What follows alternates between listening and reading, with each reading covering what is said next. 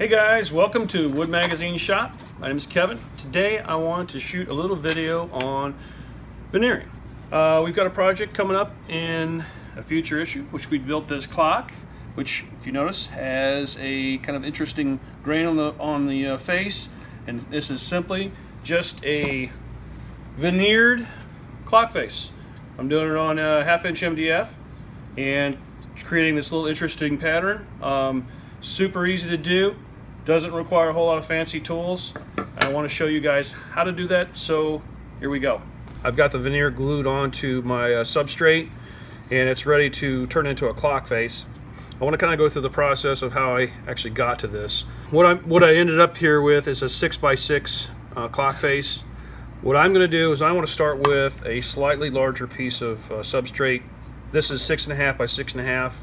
Uh, this half inch MDF. You can use any any plywood you want to use. I just just had this, which works really really great because it's flat.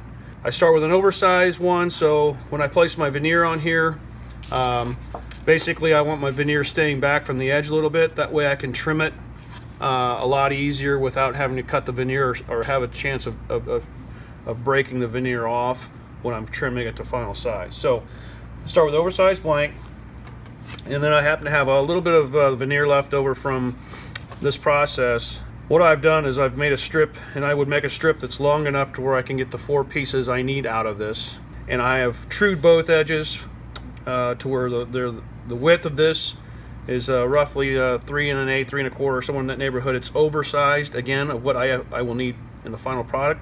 Kind of how I get to this point, one of the things I like to do, I can use two pieces of hardwood They've got a nice flat edge on one side. What I'm what I'm doing is I can line up the hardwood pieces with that veneer just protruding just a bit outside of those pieces of hardwood.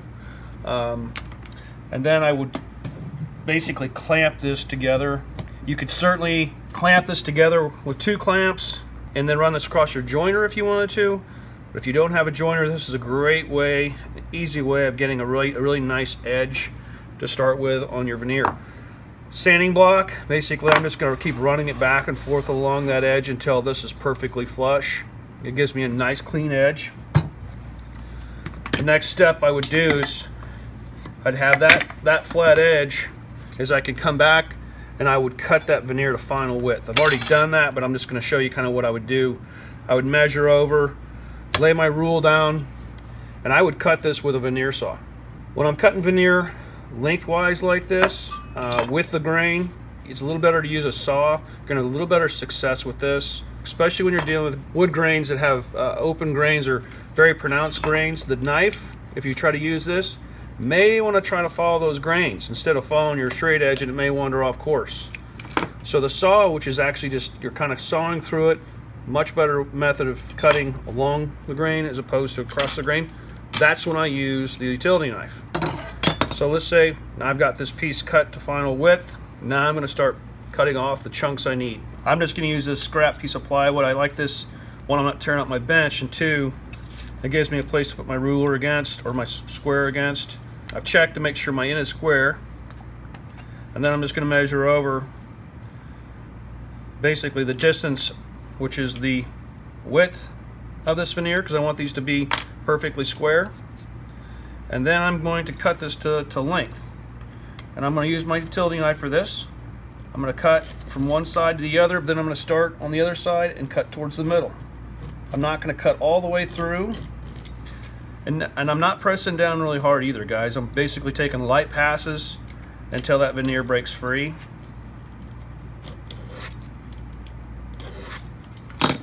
And the reason for cutting for both edges is if I don't Sometimes if you're cutting across here, that may catch this edge and break out. So when you're cutting towards the middle, you're gonna have a better chance of getting a nice clean cut. Now that I have all four of my pieces cut, I'm gonna start putting these together uh, in the pattern that I like.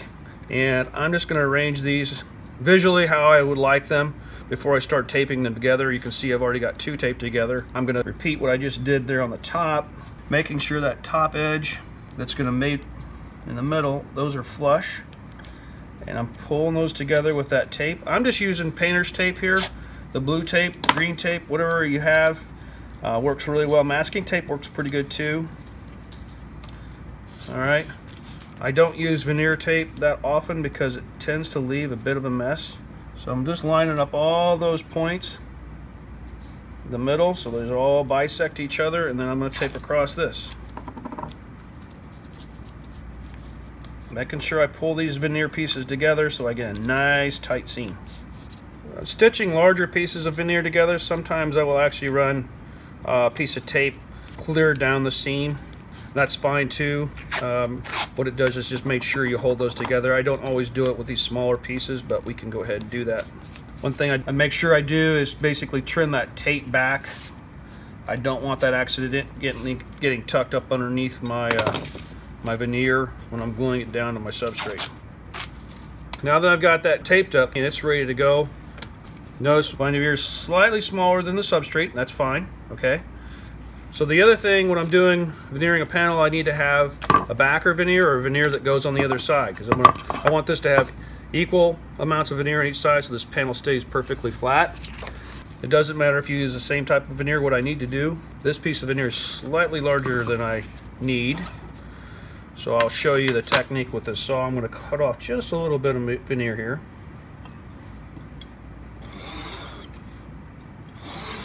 Notice I'm just pulling that saw nice and easy towards myself.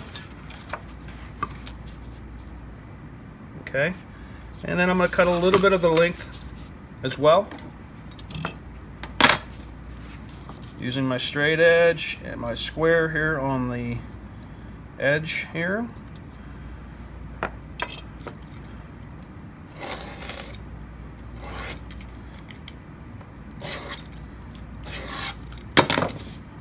Okay, so next step is I need to get some glue onto my panel and we'll get these glued up and I'll show you how I glue these together, how I put it in a little mini press, okay? So I'm ready to glue up my panel. I've got my substrate, it's clean. I've got some wax paper uh, and a couple cauls that are slightly larger than my, uh, my final piece here that I'm gluing up. And of course I've got my two pieces of veneer that I'm gonna glue on. I'm going to use uh, Bond cold press uh, glue. For something this small, I've used any Titebond. Type Bond 1, 2, or 3. There's also a glue called Better Bond. Any of these work fine. The, the, the reality is, is you're, you're going to be gluing this up pretty fast, so the open time is not really that big of a concern. This glue is formulated for veneering, so that's why I'm going to use this. Uh, just show you this. I'm going to apply a little bit of glue and it's always easier to add more glue than take it away. I'm using this little uh, foam roller. Uh, you can buy these uh, anywhere on Amazon. Uh, veneer supply stores have these as well. But uh, what this does is basically I can wash this out, reuse it, but this is a great way to really move glue around. And you can see I can get a nice even coat. You notice I didn't put a whole bunch of glue on there. You don't want to do that. You don't want to overdo it because that glue can bleed through your veneer and that be a big problem. So I get one side glued up. It doesn't matter which one goes on first. We're going to flip this over and I'm going to add glue to this side. When you're doing bigger panels, sometimes I will add tape and after I get the other piece of veneer, I'll tape that veneer just so it'll stay in place and won't move around while I'm uh, putting it in a press or a vacuum bag. We're just going to use a homemade press today. Alright, move it around. Looks like I got a good coat on that. And put our backer veneer in place. Let's check the other side, looks good. Wax paper. Make sure the wax paper covers your veneer to the clear to the edges because that would be disappointing that you glue that to the uh, to your press. And at this point, we're just going to start clamping that in place.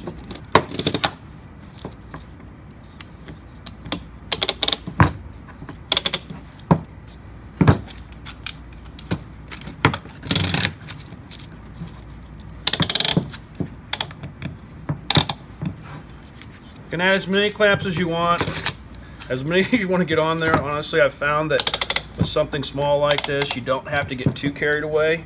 You know, four or five, six clamps like this really do a great job. I'm gonna do a couple more here, maybe one more just for good measure here. So I'm gonna let that sit in that press. Um, for this, I probably would let it sit there for, for maybe a half hour to 45 minutes, and then I would remove it.